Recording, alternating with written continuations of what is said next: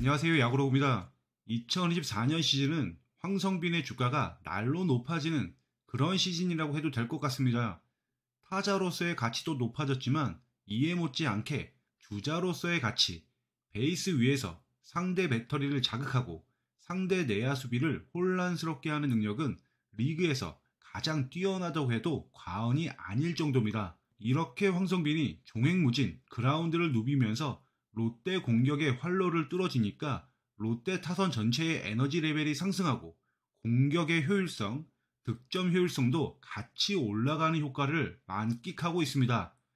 이런 맛을 보다 보니까 지금 있는 황성빈에 더해서 딱 한 명만, 딱 한 명만 황성빈 같은 선수가 있다면 얼마나 좋을까 이런 상상을 롯데 팬들은 모두 한 번쯤은 해봤을 겁니다. 그런데 재밌게도 주인공이 멀리 있지 않습니다. 바로 김동혁입니다. 2022년 2차 7라운드로 롯데 유니폼을 입은 김동혁은 황성빈과 여러모로 비슷한 선수입니다. 대졸 외야수, 우투 좌타, 180이 안 되는 small 사이즈, 지명을 받자마자 바로 현역으로 군대를 다녀왔다는 것까지 이번 시즌 김동혁은 벤치에서 대수비, 대주자로서만 나오고 있는데요. 경기에 등장할 때마다 팬들에게 강한 인상을 남기고 있습니다.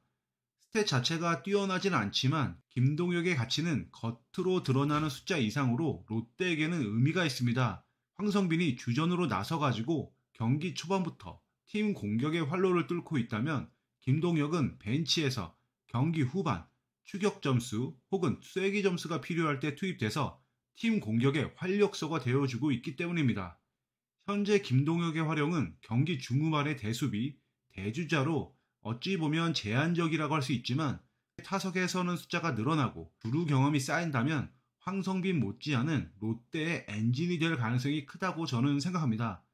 황성빈과 김동혁을 살짝 비교해보면 황성빈은 경남대 시절 통산 4할 7리의 타율에 OPS 1.003, 61개의 도루를 기록했고 롯데에 입단했는데 김동혁은 강릉 영동대에서 3할 4푼 2리의 타율에 OPS 1.075와 도루 44개를 기록했습니다.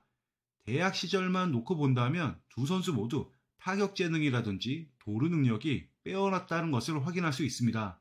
두 선수의 비슷한 모습 중에서 도루만 집중해서 한번 보겠습니다. 프로에 온 이후 황성민은 프로 첫 두 시즌에서 176경기에 나오면서 19개의 도루를 기록한 반면 김동혁은 첫 두 시즌에서 41경기 출장에 4개의 도루를 기록 중입니다. 절대적인 출장 경기 숫자라든지 도루 숫자를 보게 되면 황성빈이 압도적인데요. 도루 성공률을 보게 되면 이야기가 살짝 다릅니다. 적은 기회에서도 번뜩이는 도루 능력을 김동혁은 보여줬다라고 생각하는데요. 이 부분이 저는 중요하다고 생각합니다. 황성빈이 프로 입단 후에 첫 두 시즌의 경험을 바탕으로 3년차 시즌에 도루 능력이 만개했거든요. 1군 투수와 포수들을 상대하면서 쌓인 경험치가 이런 결과를 낳았다고 보는데 김동혁도 마찬가지라고 봅니다. 지금보다 더욱더 경험이 쌓인다면 미래에 더 기대가 된다는 거죠. 사실 김동혁이 롯데의 유니폼을 입을 때만 하더라도 이미 황성빈이 있었고 장두성이라는 비슷한 외야수가 있었기 때문에 김동혁이 1군에서 자리 잡는 것은 정말 어려울 것이라는 전망이 많았거든요. 하지만 아주 작은 틈, 제한된 기회에서 빛을 발하면서 팬들의 주목을 받고 있습니다. 본인 스스로도 잘하고 있고요. 후반기 김동혁이 롯데의 새로운 엔진으로 팀의 에너지 레벨을 끌어올리는 중요한 역할을 해주길 바랍니다. 이상으로 방송 마칩니다. 감사합니다.